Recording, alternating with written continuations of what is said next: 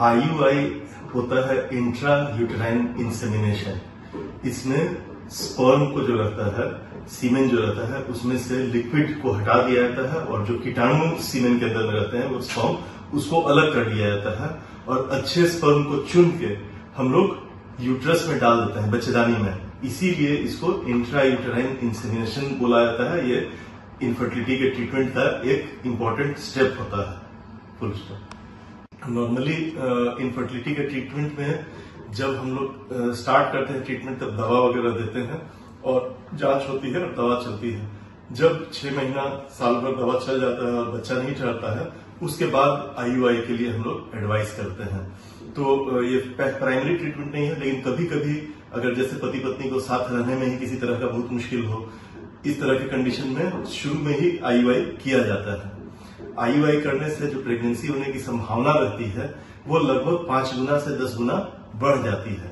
तो आईयूआई के एक साइकिल में ट्रीटमेंट से प्रेगनेंसी ठहरने का चांस लगभग 10 परसेंट के आसपास रहता है, जो कि अलग अलग मरीजों में जिस कारण से किया जा रहा है, वो बदलते रहता है।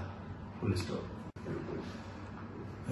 आईयूआई करने के बहुत सारे रीजंस हो सकते हैं। बहुत सारे कारण के चलते आईयूआई किया जाता है, जिसमें एक होता है अगर पति पत्नी साथ नहीं रह पा रहे हो, या पति बाहर रहता हो और साथ रह ही नहीं पाता हो तो उसमें हम लोग सीमेन को फ्रीज करके अपने पास रख सकते हैं।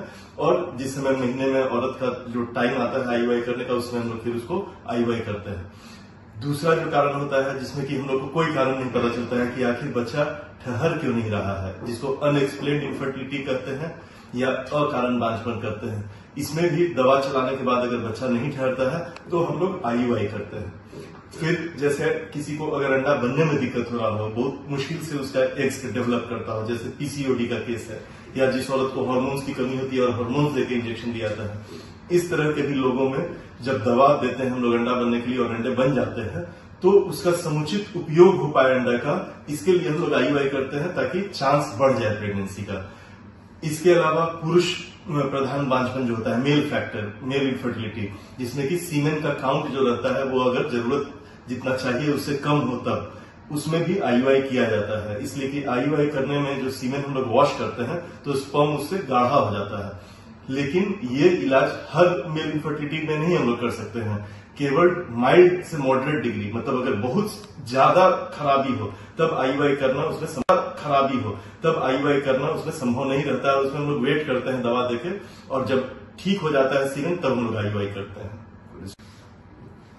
आईयूआई करने के पहले हम लोग को ये देख लेना रहता है कि औरत के ट्यूब्स खुले हुए हैं कि नहीं, उनको कोई दूसरी हार्मोनल प्रॉब्लम तो नहीं है हस्बैंड का सीमेन आई करने लायक है कि नहीं यह सब अगर रहता है तो हम लोग जो शुरू करते हैं तो वाइफ को हम लोग दवा देते हैं पीरियड शुरू होने के, मासिक शुरू होने के दूसरे दिन से छठे दिन तक। और ज़रूरत हो तो इंजेक्शन भी दिया जाता है तीसरे दिन से नौवे दिन तक। या सातवें दिन से नौवे दिन तक ये सब दवाएँ जो शुरू में दिया जाता है, इसको ओवुलेशन इंडक्शन या ओवेरियन स्टिमुलेशन बोलते हैं। इससे अंडों की संख्या बढ़ाई जाती है। जितने ज़्यादा एग्स रहेंगे, उतना ज़्यादा प्रेगनेंसी का चांसेस रहेगा।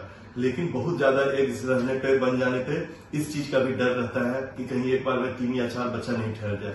तो हम लोग का एम रहता है दो से तीन फॉलिकल बनना आईवाई में। लेकिन एक फॉलिकल पे भी आईवाई हम लोग करते हैं और चार, पाँच पाँच फॉलिकल से ज़्यादा होता है तो आईवाई हम लोग कैंसिल करने के बारे में सोचते हैं। तो ये सब दवाएँ जो दी जाती हैं, ये दवा देके हम लोग पेशेंट को दसवें दिन बुलाते हैं देखने के लिए अल्ट्रासाउंड के द्वारा फॉलिकुलर मॉनिटरिंग करते हैं। और जब एक का साइज़ 18 मिलीमीटर 18 मिलीमीटर से ज़्यादा हो जाए और बच्चेदानी का लाइनिंग 7 मिलीमीटर या 8 मिलीमीटर से ज़्यादा हो जाए, तब इसका मतलब कि अब आप आईयूआई के लिए तैयार हैं। जब यूट्रस और ओवरीज के फॉलिकल्स जो रहते हैं, वो अगर हम लोग को अल्ट्रासाउंड में तैयार दिखते हैं, तब हम लोग अंडा को फूटने के लिए एक इंजेक्शन देते हैं एचसीजी उसको बोलते हैं। पाँच हज़ार यूनिट या दस हज़ार यूनिट की सुई वो हम लोग शाम में दिलवाते हैं। और उसके 36 घंटे के बाद मतलब अगर आज एग्स रेडी है, आज हम लोगों ने सुई दिया तो परसों सुबह फिर हम लोग पेशेंट्स को बुलाते हैं। इस दो दिनों के दौरान में, जिस दिन इंजेक्शन एक रप्चर करने का, एक घुटने का जो इंजेक्शन दिया जाता है, और दो दिन के बाद जब बुलाया जाता है, इन दो दिनों में हस्बैंड वाइफ को साथ में रहने से परहेज करना है, ताकि सीमेंट जो हम लोग को मिले दो दिन के बाद आईयूआई करने के दिन, वो कम नहीं रहे। आईयूआई के दिन मतलब आज अगर इंजेक्शन पड़ा तो एक दिन छोड़ के दूसरे दिन सुबह में हम लोग फिर बुलाते हैं पेशेंट्स को और हस्बैंड जो है अपना सीमेन देते हैं। वो सीमेन वो घर से भी ला के दे सकते हैं, लेकिन सीमेन यहाँ पे आधे घंटे में आ जाना चाहिए, या सीमेन हॉस्पिटल में भी आप कलेक्ट कर सकते हैं रूम में जाकर। और वाइफ के साथ भी रह के दे सकते हैं या अकेले भी आप सीमेन दे सकते हैं।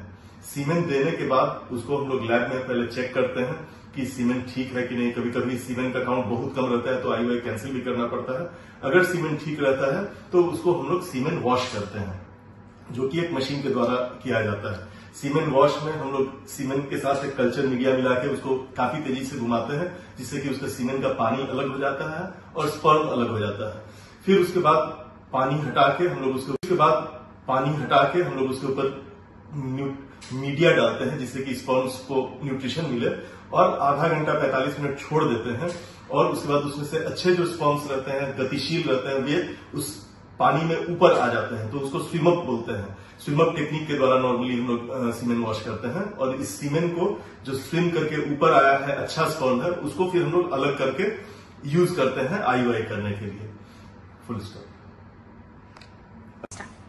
आईयूआई लैब में जब सीमेंट आता है, इसलिए सीमेंट कंटेनर है जिसमें कि सीमेंट पेशेंट को कलेक्ट करके देना रहता है। और आधे घंटे के बाद हम लोग वो जो जाँच करते हैं और सीमेंट वॉश कर लेते हैं तो इस तरह का मीडिया रहता है जिसमें कि स्पॉम को हम लोग स्विम कराते हैं और नीचे से जो अच्छे स्पॉम्स रहते हैं वे स्विम करके ऊपर आ जाते हैं और ऊपर आए हुए में से केवल हम लोग आधा एमएल बस इतना एक आधा एम हम लोग सीमेंट ऊपर वाले पोर्शन से निकालते हैं जिसमें कि सबसे अच्छे स्पॉम्स रहते हैं और इसी को हम लोग यूट्रस के अंदर में नीचे से सर्विक्स के रास्ते से नीचे से हम लोग बच्चेदानी में डाल के इसको पुश कर देते हैं जो आधा एम निकाले।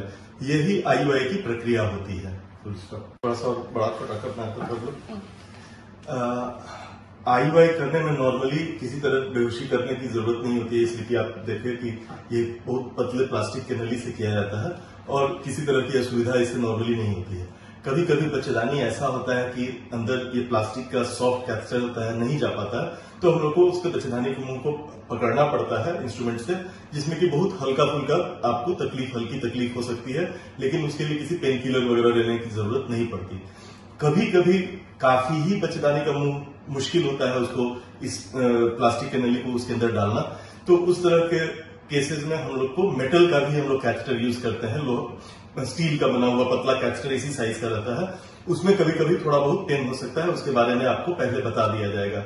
बहुत रेयर केसेस में 100 200 में कभी या उससे भी ज़्यादा में से एक केस में कभी कभी हम लोग को बेहोश करके भी आईयूआई करना रहता है। अगर बेहोश करके आईयूआई करना हो तो आईयूआई करने के चार घंटा पहले से भूखे पेट रहना रहता है। आईयूआई करने के बाद आधा घंटा वहीं पे आपको लेट के आराम करना है। और आधे घंटे के बाद आप उठ के जा सकती हैं। बहुत लोगों को लगता है कि उठने से वो सीमेंट बाहर निकल जाएगा या पानी जैसा आया। तो जो भी सीमेंट रहता है, वो वॉश करने के बाद हम लोग यूट्रस में डालते हैं। वेजाइना में नहीं डालते हैं मतलब योनी में नहीं डालते हैं, बच्चेदानी में डालते हैं।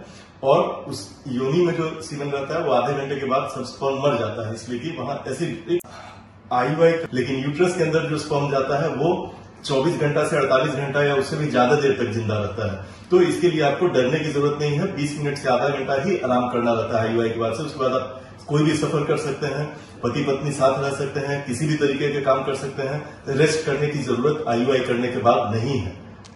फुल स्टॉप आईयूआई करने के बाद अगर आपको बहुत ज़्यादा दर्द हो और लगातार बना रहता हो, या ब्लीडिंग हो, या बुखार लगे इस तरह की कंडीशन में आपको डॉक्टर्स को खबर करना चाहिए और उचित परामर्श लेना चाहिए। आईयूआई करने के बाद पति पत्नी को साथ रहना चाहिए। उसमें ऐसा नहीं है कि साथ रहने से आईयूआई में कोई खराबी होगा, उल्टा उसे कुछ फ़ायदा ही हो सकता है। इसीलिए साथ रहना भी मना नहीं होता आईयूआई के बाद। नॉर्मली आईयूआई करने के चौदह दिन के बाद पीरियड आने का टाइम रहता है। और हम लोग उसके दस दिन बाद मतलब आईयूआई करने के पच्चीस दिन के बाद पेशेंट को बुलाते हैं ताकि अल्ट्रासाउंड से यूट्रस में बच्चा ठहरा हुआ है कि नहीं वो भी दिख जाए। लेकिन चौदह दिन के बाद भी आप सत्रह अठारह दिन पे भी आप अगर घर पे हैं और पीरियड नहीं आता है आईवाई के बाद तो आप यूरिन टेस्ट करा के देख सकते हैं और पॉजिटिव आने पे आप क्लिनिक आके वापस मिल सकते हैं। आईयूआई में ऐसा कोई और साइड इफ़ेक्ट नहीं होता है। साइड इफ़ेक्ट मेन यही है कि अगर बहुत ज़्यादा एग्स है और अंडा अगर रप्चर करता है तो हम लोग कंट्रोल नहीं कर सकते हैं। और कभी कभी जुड़वा बच्चा या ट्रिपलेट प्रेगनेंसी या क्वाड्रुपलेट प्रेगनेंसी मतलब चार गर्भ भी एक बार में ठहर जाए, ऐसा बहुत रेयरली कभी कभी हो सकता है। तो इस चीज़ का एक रिस्क रहता है। दूसरा इन्फेक्शन होने का रिस्क रहता है, लेकिन अगर सीमेंट इसीलिए सीमेंट को हम लोग वॉश करते हैं। कभी कभी अगर उसमें पस दिखता है तो हम लोग डबल वॉश भी करते हैं। हस्बैंड को हम लोग एंटीबायोटिक देते हैं, लेकिन थोड़ा बहुत इन्फेक्शन का खतरा 500 या 1000 में से एक दो पेशेंट को होता है। तो अगर आपको कोई भी इन्फेक्शन के जो सिम्टम्स होते हैं, लक्षण होते हैं, जैसे बुखार लगना, पेट दर्द होना आईयूआई होने के बाद अगर ऐसा कुछ लगे तो आप एक बार दिखा लेना चाहिए ताकि सही समय पे हम लोग उसका इलाज कर सकें और आगे कोई कॉम्प्लिकेशन नहीं हो। इसके साथ ही साथ जो हम लोग सीमेंट रहता है अगर हस्बैंड बहुत ज़्यादा दिन तक साथ नहीं रहने वाले हो, बाहर जाना हो, बहुत कम दिन के छुट्टी के लिए आए हुए हो तो इस तरह के केस में हम लोग अगर हस्बैंड बाहर रहने वाले हो और उनका सीमेन हम लोग हस्बैंड का इस तरह के केस में जिसमें कि हस्बैंड बार बार आई के लिए नहीं आ सकते हो और छुट्टी नहीं हो, या जिस दिन सीमेन देना हो, उस दिन किसी डर के चलते या एंजाइटी के चलते सीमेन नहीं दे पाते हो तो इसमें हम लोग पहले से भी सीमेन को लेकर हस्बैंड के फ्रीज करके अपने पास रख सकते हैं। नॉर्मली हम लोग एक साल तक सीमेन को फ्रीज करके अपने पास रखते हैं, लेकिन अगर आप चाहें तो उसको हम लोग ज़्यादा अवधि तक भी सीमेन को जमा करके रख सकते हैं। सीमेंट फ्रीज किया हुआ अगर रहेगा तो अगले महीना हस्बैंड अगर नहीं भी रहे तो वाइफ जब आई वाई के लिए आएँगे, उनके एग्स मेच्योर हो जाएँगे एचसीजी पड़ेगा। उसके बाद हम लोग फ्रोजन सीमेंट जो रहता है, उसको निकाल के हस्बैंड का और उसको फिर वापस उसको गर्म करते हैं और देख लेते हैं अच्छा स्पॉन अगर चलने वाले हैं गतिशील तो हम लोग वॉश करके उसे भी आई वाई कर सकते हैं। तो सीमेंट फ्रीजिंग के का हम लोग सहारा भी ले सकते हैं। फुल नॉर्मली आईयूआई कितना बार किया जाए, इसका कोई फिक्स क्राइटेरिया नहीं है कि कोई नियम नहीं बना हुआ है कि इतना ही बार करना है। वो मरीज़ की उम्र कितनी है, कितने साल शादी के हो गए, उसके बाकी सब रिपोर्ट्स कैसे हैं हस्बैंड का सीमेंट का रिपोर्ट कैसा है, औरत के गर्भाशय की नली की जाँच का रिपोर्ट कैसा है, उसके अंडों का रिज़र्व कैसा है। तो ये सबसे हम लोग डिसाइड करते हैं कि कितना साइकिल किया जाए। कभी कभी हम लोग एक दो साइकिल ही केवल आई करते हैं और कभी कभी हम लोग चार से छह साइकिल भी करते हैं। नॉर्मली हम लोग छह साइकिल से ज़्यादा आई वाई नहीं करते हैं। ये साइकिल्स जो होते हैं आई वाई के, वो हम लोग लगातार भी कर सकते हैं या बीच में एक दो महीना रुक रुक के भी कर सकते हैं। ऐसा कोई ज़रूरी नहीं है कि आई वाई एक बार शुरू हो तो लगातार छह महीना उसको करना हो या कोई इस तरह का साइकिल हो। बीच में भी जो अगर आईयूआई जिस महीना नहीं हो रहा हो, उस महीना भी साथ रहने से प्रेगनेंसी की चांसेस रहती है। आईयूआई के जितना नहीं, लेकिन ऐसा नहीं सोचना चाहिए कि जिसको आईयूआई स्टार्ट हो गया और आईयूआई से नहीं बच्चा ठहरा तो उसको साथ रहने से बच्चा नहीं ठहर सकता है। ऐसी बात नहीं है। तो अगर कोई दिक्कत हो आने जाने में दिक्कत हो या पैसे की कमी के चलते कोई नहीं आ पाए तो बीच में आप लोग साथ भी रह के देख सकते हैं। अगर दो साइकिल में नॉर्मली आई वाई से बच्चा अगर नहीं ठहरता है हम लोग के यहाँ तो हम लोग का प्रोटोकॉल एक होता है कि हम लोग फिर उसके बाद एक छोटा ऑपरेशन होता है जिसको कि लेप्रोस्कोपी बोलते हैं। लेपेंडाइट टेस्ट करके ट्यूब की जाँच करते हैं। ट्यूब की जाँच बाकी सब पे, पेशेंट्स में हम लोग स्टार्ट करने के पहले फ़र्स्ट साइकिल के भी पहले एक्सरे के द्वारा करते हैं। एक्सरे में लगता है कि सब ठीक ठाक है तो हम लोग आई शुरू करते हैं। और आगे आई वाई अगर कंटिन्यू करना हो तब हम लोग लैप्रोस्कोपी करके देख लेते हैं कि ट्यूब्स भी ठीक है कि नहीं और और भी कोई दूसरा पेट में औरत के कोई ऐसा चीज़ तो नहीं ऐसी कोई बीमारी तो नहीं है जो कि आईयूआई को फेल करने में आ, आ, आ, उसका रीजन हो।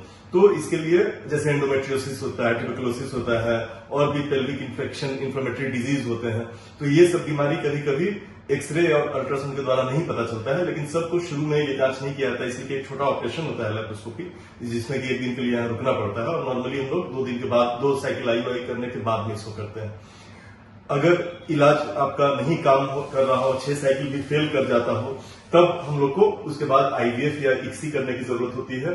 हर साइकिल के बाद हम लोग इस चीज़ को देखते हैं कि क्यों प्रेगनेंसी नहीं ठहरा पिछले महीना एक कैसा बना था? स्पॉन ठीक था कि नहीं? अगर नहीं था तो अगले महीना में उसके चांसेस को कैसे बढ़ाया जाए? इस विषय में हम लोग खुद जागरूक रहते हैं। आपके मन में भी अगर ऐसा कुछ लगे तो आप डॉक्टर से पूछ सकते हैं कि और इसमें क्या किया जा सकता है।